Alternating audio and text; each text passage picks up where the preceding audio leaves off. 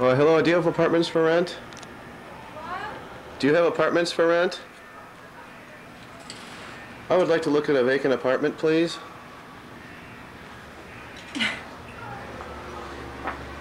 Can you show me an empty apartment?